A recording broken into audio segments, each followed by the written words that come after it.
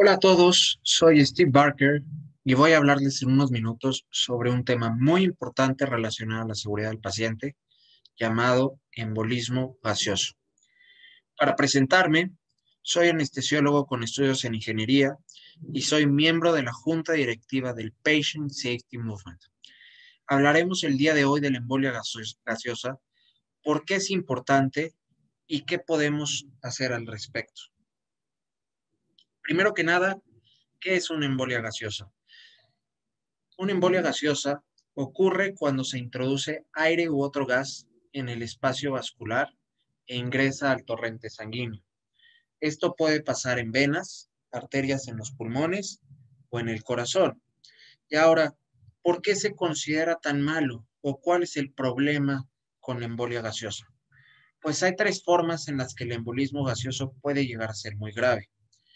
Un émbolo de aire puede ir a los pulmones y bloquear el flujo sanguíneo causando un aumento en la presión pulmonar y falla del lado derecho del corazón. Un segundo mecanismo es que la embolia ingrese al corazón en grandes cantidades, lo que puede causar lo que se llama un bloqueo por aire en el lado derecho del corazón. Aquí las válvulas cardíacas no funcionan correctamente y no se puede expulsar el aire el gasto cardíaco cae de forma súbita, de hecho llegando a casi cero, y progresa rápidamente a un paro cardíaco, siendo fatal si no se trata literalmente en un par de minutos. Y un tercer mecanismo es la embolia gaseosa del lado derecho del corazón, que cruza y llega al lado izquierdo, desde donde se bombea la circulación arterial y puede causar un infarto o un bloqueo del flujo sanguíneo y suministro de oxígeno a los órganos vitales, incluidos el corazón y el cerebro, siendo esto obviamente algo muy grave. Ahora, ¿cómo llega del lado derecho el corazón al lado izquierdo? Es algo que hablaremos en unos minutos. Cuando nos preguntan cómo sucede este embolismo gaseoso, pues bueno, la realidad es que la mayoría de las veces las embolias aéreas son de origen iatrogénico. Las causamos durante el tratamiento hospitalario, ya sea debido a ciertos procedimientos o al introducir el aire por alguna acción que realizamos durante el proceso de atención. Esto significa que esta condición se puede prevenir y como tal debe considerarse como un evento de tolerancia cero. Durante esta charla veremos algunos ejemplos de informes de casos y cómo esto le sucedió a pacientes hospitalizados y cuál fue su resultado. Si tomamos en cuenta que durante las cirugías se convierte en un escenario común para que se pueda presentar esta complicación, ya que ocurre con una exposición accidental de las venas al aire al encontrarse abiertas especialmente cuando el sitio quirúrgico está por encima del nivel del corazón. Es más común en las cirugías de trauma, especialmente donde se tiene el pecho abierto del paciente o lesiones abdominales que resultan en una exposición del abdomen, o en condiciones cuando el paciente acude por alguna lesión, por estallido o explosión. Puede ocurrir por ventilación mecánica, que es un ventilador artificial que respira por el paciente, en donde si la presión suministrada por el ventilador es demasiado alta, se puede introducir aire en el torrente sanguíneo de los pulmones. Y finalmente, la enfermedad por descompresión de los buzos. Los buzos cuentan con nitrógeno disuelto en su sangre cuando bajan a estas profundidades. Y si suben muy rápido, el nitrógeno sale de la solución y forma burbujas de gas en la sangre y en otros lugares. A esto lo llamamos clásicamente como el síndrome de descompresión y puede llegar a ser fatal y es básicamente muy similar a otras embolias gaseosas. Ahora, ¿cuáles son los signos y síntomas que nos da esta enfermedad?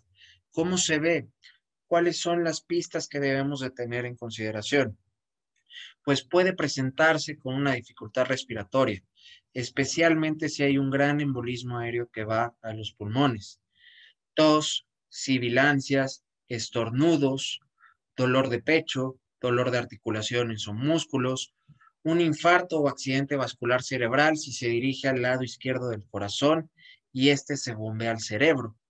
Esto resultará en una discapacidad motora, sensorial o del habla, dando parálisis parcial o incluso completa.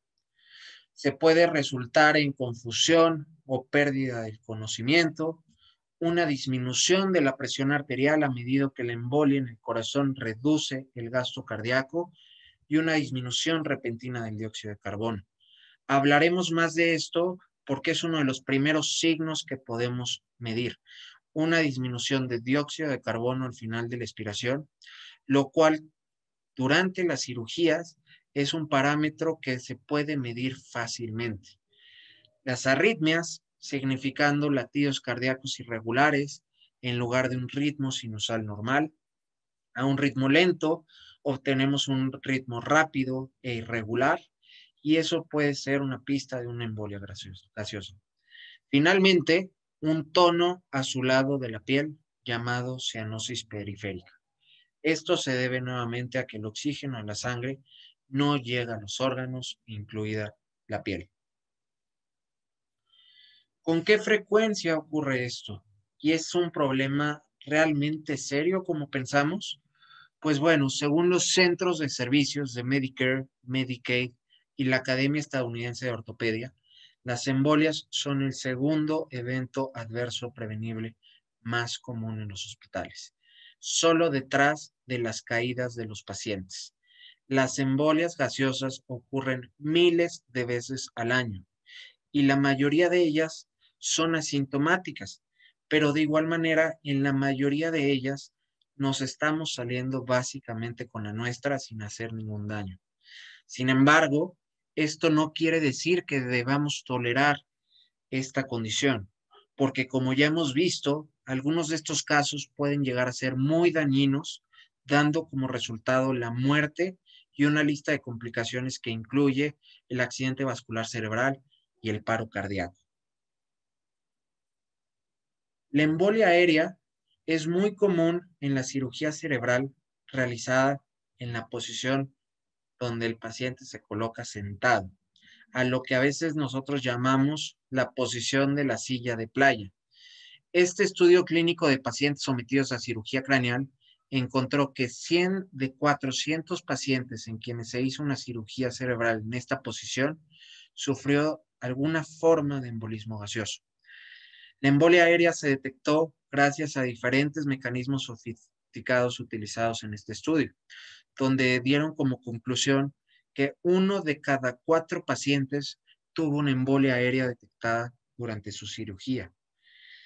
Aquí hay un ejemplo clínico que va más relacionado a mi mundo de anestesiología. Y esto ha sucedido varias veces. Si ustedes miran una bolsa de líquido intravenoso, en este caso de Ringer lactato, noten que hay de 100 a 200 centímetros cúbicos de aire en la parte superior de la bolsa. La pregunta es, ¿por qué hay aire en la bolsa en primer lugar? Pues bueno, está ahí para que se pueda leer el nivel de los fluidos y saber cuánto líquido queda en la bolsa, siendo este su único propósito. Y a esto le llamaremos Strike One o Strike 1. Supongamos que necesitamos administrar ese líquido tal vez a un paciente de trauma o alguien que perdió mucha sangre. Necesitamos administrar ese líquido rápidamente y apretamos la bolsa para introducirlo lo más rápido posible, más rápido que con la gravedad. Actualmente contamos con dispositivos que nos ayudan a hacer exactamente eso. Son dispositivos particulares, como se muestra en la imagen, en donde se coloca la bolsa intravenosa en estos compartimentos y se comprime neumáticamente la bolsa, apretándola para que el líquido entre lo más rápido posible. La bolsa bajo estas condiciones se encuentra con una presión excesiva. Esto es lo que yo llamo strike 2. Y el tercer strike es lo que sucede cuando la bolsa se queda sin líquido. Ya hay 200 centímetros cúbicos de aire en la parte superior de la bolsa.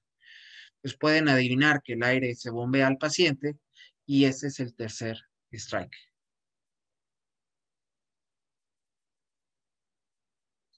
Veamos algunos informes de casos de cómo sucedió esto. Cabe mencionar que todos estos son ejemplos reales. El primero, un paciente grave está en la sala de operaciones para una laparotomía exploratoria abierta. Tiene una lesión abdominal. La sangre y los líquidos se infunden mediante un calentador de líquidos presurizados. Este es uno de los dispositivos que, que mencionábamos con anterioridad. La bolsa intravenosa de solución salina se vació en el paciente, pero la bolsa, como las que les mostré, contiene 200 centímetros cúbicos de aire. La válvula de seguridad en el dispositivo no detuvo la infusión de aire y al paciente se le infundieron estos centímetros cúbicos a presión en sus venas, dando como resultado la muerte. Hay varios informes de casos de muerte bajo estas mismas circunstancias. Este es un caso que ocurrió en mi institución, con el que estaba familiarizado personalmente. Un futbolista sano de 19 años estuvo involucrado en un accidente automovilístico. Tenía un catéter venoso central, que es un catéter colocado en el lado derecho de su corazón y que nos sirve para hacer la monitorización y el manejo de, de fluidos.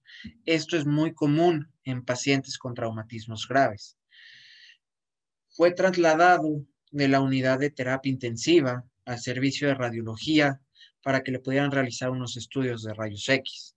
Durante su traslado, no tuvo una enfermera que lo acompañara y esto generó que su catéter venoso central se desconectara de la línea intravenosa y por lo tanto quedara expuesto al aire. Esto es strike 1 en este caso. El paciente se quedó en la posición como lo veníamos platicando con anterioridad, estaba sentado, porque en realidad estaba más cómodo de esa manera. Ese es el strike 2. Y finalmente se observó que el paciente tomaba una respiración profunda. Strike 3. Cuando inhalas profundamente, la presión en tus pulmones desciende por, por debajo de la atmosférica y la presión en las venas pulmonares en realidad puede aspirar aire hacia las venas si hay una vía para el aire. Y el camino, por supuesto, fue esta línea abierta. Tuvo una embolia aérea masiva, un bloqueo por aire del ventrículo derecho y una muerte inmediata. Y el volumen requerido por uno de estos bloqueos por aire en el corazón, por cierto, es de 200 a 300 centímetros cúbicos, justo la cantidad contenida en la bolsa intravenosa. Otro caso, una craneotomía posterior para cirugía cerebral, la cual se realizó con el paciente sentado. Durante la disección, a través de la dura madre hasta el cerebro, el dióxido de carbono al final de la expiración empezó a caer repentinamente de su valor normal de 35 a unos 15 milímetros de mercurio. Al mismo tiempo, su presión arterial descendió a 85 sobre 55. ¿Qué fue lo que pasó? Lo que pasó fue una embolia aérea, como lo hemos platicado. Es una complicación de alto riesgo para las cranotomías en esta posición y afortunadamente fue detectada. Nos lo advirtió la repentina caída del dióxido de carbono al final de la expiración. ¿Qué haríamos en este caso? Lo primero que debemos hacer es poner la cabeza del paciente hacia abajo, de modo que la cabeza esté debajo del nivel del corazón. Esto evitará que se aspire más aire de la atmósfera. Otros casos que, que, que les quiero compartir. Una mujer de 68 años que se somete a un reemplazo total de cadera. La prótesis femoral que es una varilla de acero larga, se martilla y se coloca en su lugar con un pegamento llamado metacrilato de metilo. Este es el pegamento para básicamente pegar la varilla en el fémur. El anestesiólogo notó una caída repentina del dióxido de carbono, seguido de hipotensión y el paciente cayó en paro cardíaco. Esto fue de hecho una embolia de metacrilato de metilo. No hablamos estrictamente de un embolismo gaseoso, fue una embolia del pegamento utilizado para pegar la cadera. Y el problema con este material es que no solo genera la embolia pulmonar difusa que platicamos, sino que además es un potente depresor del miocardio, haciendo que el corazón no se contraiga de manera correcta. Otro caso, una mujer de 23 años en trabajo de parto tiene un parto largo y estresante. Ella tiene un desprendimiento parcial de la placenta, que es cuando la placenta se despega de la pared uterina. Finalmente, alcanza una dilatación cervical de 10 centímetros, que es la dilatación completa donde está lista para el parto. Le dicen que comience a pujar en su próxima contracción y ella comienza a pujar y de repente empieza a jadear y dice que no tiene aire suficiente. A esto le sigue hipotensión y paro cardíaco. ¿Qué pasó aquí? Esta fue una embolia de líquido amniótico y esto se ha informado en diferentes ocasiones. Nuevamente, no estamos estrictamente hablando de un embolismo gaseoso, sino de la embolia de algo que no pertenece a la sangre y de hecho no es soluble en la sangre y puede provocar un paro cardíaco de la misma manera. Último caso, un paciente de 63 años está en la sala de recuperación luego de una reparación de hernia y tiene una infusión accidental de 10 centímetros cúbicos de aire. Solo 10 centímetros cúbicos, que es un volumen muy pequeño. Tiene la aparición repentina de visión doble, dolor de cabeza, náuseas y vómito. Lo llevan a una resonancia magnética donde se encuentra que tiene un pequeño derrame cerebral. ¿Qué pasó? 10 centímetros cúbicos de aire no debería ser nada para una embolia pulmonar. Debería tolerarse muy bien. Bueno, aquí está la complicación. Hasta 30% de nosotros tenemos lo que se llama un foramen oval permeable.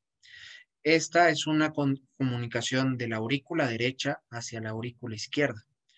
Un émbolo de aire puede seguir este camino este atajo sobre el lado izquierdo del corazón y luego esos émbolos se bombean como burbujas de aire desde el lado izquierdo, sufriendo o pudiendo generar un infarto u obstrucción de órganos vitales, incluidos el cerebro, como en este caso. El foramen oval permeable puede detectarse mediante un ecocardiograma, pero no se realiza rutinariamente en la mayoría de los pacientes. Ahora bien, esto es un interés personal para mí, porque descubrí que soy uno de esos 30% de personas que tienen un foramen oval permeable. Aquí hay otro caso de alguien a quien no se le pudo detectar el embolismo. Se estaba sometiendo a un procedimiento de radiología intervencionista, una biopsia pulmonar percutánea, tras la cual de repente dejó de responder el paciente. Y puedes ver en su tomografía burbujas de aire en su cerebro. Burbujas de aire que pasaron de la circulación del lado derecho en los pulmones al lado izquierdo. Salieron e infartaron parte de su cerebro. Ahora, ¿cuáles son los procedimientos que están en riesgo de embolismo gaseoso? Hay muchos procedimientos no quirúrgicos que tienen un alto riesgo. Uno de ellos, y del cual ya hemos hablado, es la colocación de un catéter venoso central que es un camino directo hacia el lado derecho del corazón. Otros cateterismos, incluso la nutrición parenteral, que es la alimentación intravenosa, porque a menudo se administra a través de estos catéteres centrales, eh, además medicamentos u otras soluciones, procedimientos como un radiología intervencionista, como lo vimos en el ejemplo anterior, y de igual manera pueden leer en la diapositiva otros procedimientos que son de, alto riesgo. El punto que necesitamos saber es qué procedimientos están realizando en sus respectivos hospitales que pueden tener un mayor riesgo de embolismo gaseoso y tener el mayor cuidado con estos. En el lado quirúrgico, los procesos se realizan en el quirófano. Hay algunos que se sabe que son de muy alto riesgo. Ya hemos hablado de la craniotomía donde el paciente se coloca sentado, el cual se considera de alto riesgo. Cualquier operación en la que el sitio quirúrgico está por encima del nivel del corazón, cirugías como la fosa posterior, cirugías de cuello, procedimientos laparoscópicos, artroplastías totales de cadera, cesáreas, son considerados de un riesgo importante. Y como personal de salud necesitamos saber cuáles son estos procedimientos antes de ingresar al quirófano para poder tomar las medidas necesarias. Aquí les dejo la lista con los riesgos de un alto riesgo a un bajo riesgo. ¿Cómo detectamos la embolia gaseosa? Pues resulta que la mejor manera, la forma más sensible, es algo que rara vez hacemos en los casos quirúrgicos de rutina, y es un ecocardiograma transesofágico. Requiere experiencia, puede llegar a ser costoso, y la mayoría de nuestros pacientes no lo tiene disponible. Se encuentran disponibles otras técnicas como el Doppler acústico, el cual es igual de sensible y también más fáciles de hacer. Debemos tomar en cuenta que, por ejemplo, la, la expiración final de dióxido de carbono es uno de los medios como el personal de salud se da cuenta de que existe esta complicación y como lo pueden ver en la lista, tiene una sensibilidad moderada. Existen de igual manera otros monitoreos de rutina, como la oximetría de pulso, que mide la saturación de oxígeno, pero tiene una sensibilidad relativamente baja. El punto es que no tenemos un monitoreo de alta sensibilidad para el embolismo gaseoso en la mayoría de nuestros pacientes. Por lo tanto, tenemos que mantener un grado índice de sospecha y estar siempre en guardia con este tipo de pacientes. ¿Cuál es el tratamiento si creemos que, nos enfrentamos a un embolismo gaseoso? Lo primero es poner la cabeza hacia abajo, esta posición de Trendelenburg. Y con la cabeza abajo, girar al paciente al lado izquierdo, hacia abajo, lo que se llama la maniobra de Durant. La segunda prioridad es colocar el sitio quirúrgico debajo del corazón, porque es allí donde el aire ingresa a las venas del paciente. Si esto sucede durante una cirugía, hay que cambiar la posición del paciente, pero esperen un minuto. Probablemente estarán diciendo, pues no suena a veces esto contradictorio. Por ejemplo, y si nuestra operación es en la pelvis, la única forma de colocar el sitio quirúrgico debajo del corazón es colocar al paciente en el lado opuesto de Trendelenburg. ¿O a qué podríamos llamar Trendelenburg inverso? Con la cabeza en alto. Y esto de hecho es una contradicción y es una decisión que el médico debe tomar en el calor del momento. Si el objetivo principal es detener la entrada continua de aire en el sitio quirúrgico, hay que colocar el sitio quirúrgico debajo del nivel del corazón si la principal prioridad es detener el daño del aire que ya ha entrado al sistema, pero esa fuente de aire ha sido bloqueada, entonces hay que colocar al paciente en Trendelenburg. Hay que detener la fuente de aire y comprobar las líneas intravenosas. Hay que asegurarnos de que no se esté introduciendo aire a través de dispositivos como ya lo hemos visto con estos calentadores de fluidos presurizados, entre otros. Hay que irrigar el campo quirúrgico con solución salina. Hay que aumentar la concentración de oxígeno inspirado al 100%. Para esto, podemos utilizar una cámara hiperbárica o considerarlo si está disponible. Hay que recordar que esto es lo que se usa para la enfermedad del buzo. Lo colocamos en una, en una cámara hiperbárica, por lo general durante 24 horas o más, y los llevamos gradualmente a la presión atmosférica. Hay que aspirar aire directamente a la aurícula derecha del corazón. Esto es en la situación de bloqueo por aire. Se puede hacer a través de un catéter venoso central o de forma percutánea introduciendo una aguja y un catéter a través del pecho. Esta es una maniobra heroica que ha salvado varias vidas. No es tan común, pero si tienes una de esas situaciones de bloqueo por aire en, en el corazón, como dije, tienes literalmente segundos para hacer algo por resolver este problema. Y es posible que para esto necesitamos medidas heroicas. Hay que intentar cualquier cosa para mantener la hemodinamia, mantener la presión arterial y el gasto cardíaco dentro de un rango normal para que los órganos vitales del paciente reciban el oxígeno necesario. Y por último, pero no menos importante, si el paciente entra en paro, no dudes ni esperes a comenzar con RCP. Dar RCP puede salvar a estos pacientes si tienen un bloqueo por aire. Puede ayudar a sacar el aire del corazón. Así que hay que hacer RCP. De igual manera, un poco de prevención puede ayudar mucho en una situación de embolismo gaseoso. ¿Cómo se previene? Primero, hay que asegurarnos que todos los catéteres de acceso venoso central estén bien conectados. Usen lo que se llama el accesorio de cierre LUER. Estos son accesorios de rosca en la línea intravenosa que se conectan al catéter central, no los accesorios a presión viejos que no están bloqueados positivamente. Hay que comprobar que estos dispositivos estén bien sujetos. Algunos incluso sugieren y estoy de acuerdo con ellos en usar cinta adhesiva sobre los accesorios que conectan la línea venosa central, especialmente si el paciente va a ser transportado como el jugador de fútbol. Hay que eliminar todo el aire de las bolsas intravenosas. Si se utiliza un dispositivo como este calentador de líquido, es fácil hacerlo se necesitan unos 20 segundos para sacar el aire de la bolsa antes de volver a conectarlo a la vía intravenosa y posteriormente colocarlo en el dispositivo presurizado.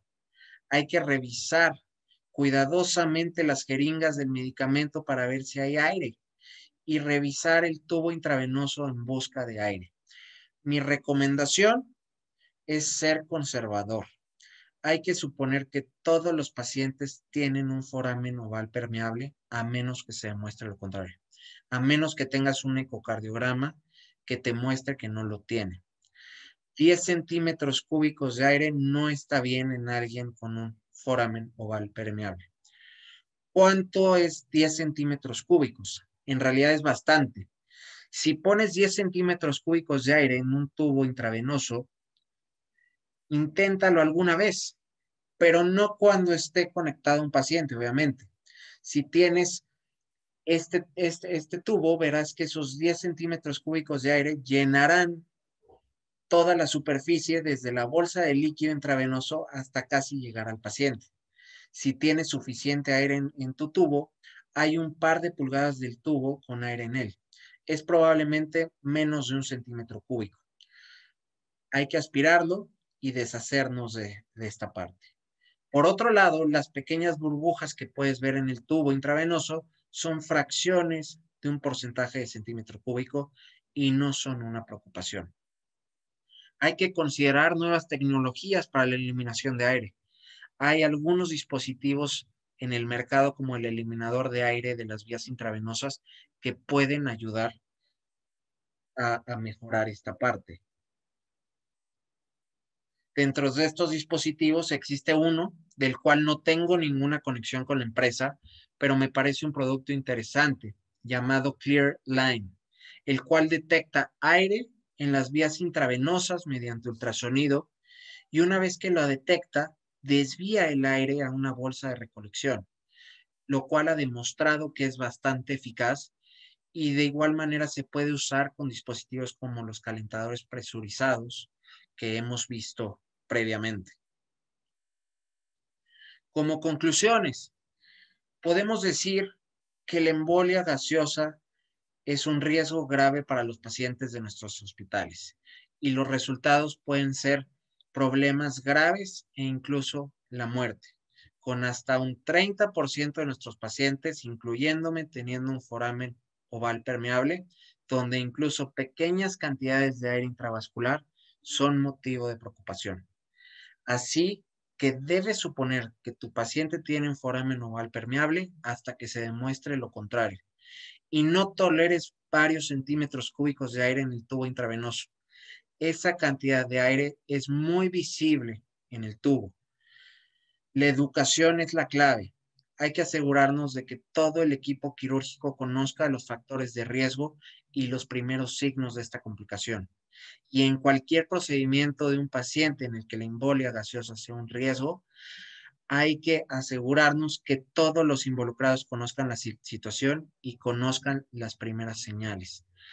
Hay que minimizar esos factores de riesgo. Por ejemplo, hay que asegurarnos que las líneas de catéter venoso central estén unidas y pegadas de forma segura y tener un plan de respuesta rápida para el tratamiento. Esto debería ser parte del tiempo fuera que realizamos de forma rutinaria antes de realizar cualquier procedimiento. Creo que si en esos casos de alto riesgo, por ejemplo, la craneotomía de fosa posterior, sí creo que debería ser parte del tiempo de el tiempo fuera dentro del procedimiento habitual eh, que se tiene en las organizaciones. Finalmente, por último, y no menos importante, es, es, es vital reportar e informar todos los casos. Hay que aprender de nuestros errores. Hay que publicarlo en la literatura como informes de casos, ya sea que hayan sido malos resultados como la muerte del paciente, como lo hemos visto con algunos ejemplos, o de igual manera si se hizo una salvación heroica del paciente. Cualquiera de los dos necesita ser publicado para que podamos aprender de la experiencia y errores de los demás. Así es como lo podemos prevenir y es nuestro objetivo lograr cero embolias gaseosas. Muchas gracias por su atención. Espero que tengamos la oportunidad de hablar más adelante y tal vez escuchar sus opiniones y experiencias que han tenido en sus organizaciones. Quedo a sus órdenes deseándoles un excelente día. Muchas gracias.